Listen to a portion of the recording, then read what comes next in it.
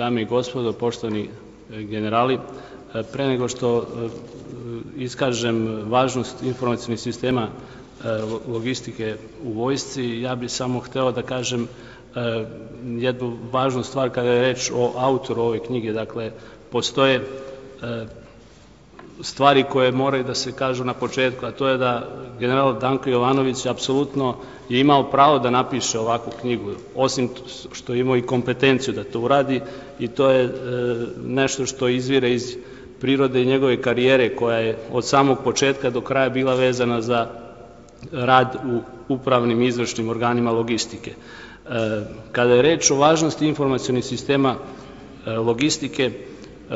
želeo bih sve u ovoj sali, a vidim da su zaista prisutni veoma relevantni ljudi, da podsjetim da istorija logističkih informacijonih sistema u svim vojskama koje su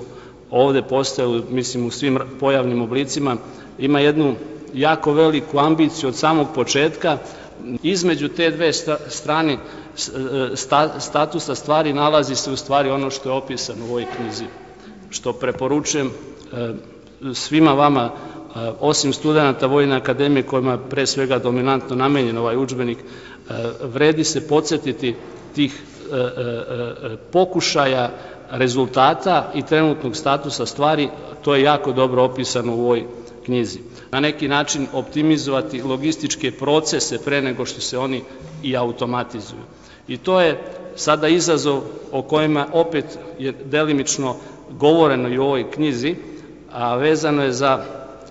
suštinsko pitanje da li je moguće izvršiti integraciju postojećih informacijonih sistema kroz formu integrativnog portala ili je potrebno krenuti od potpuno novog koncepta, dakle jedinstvenog sistema koji će od početka biti pravljen kao jedinstven.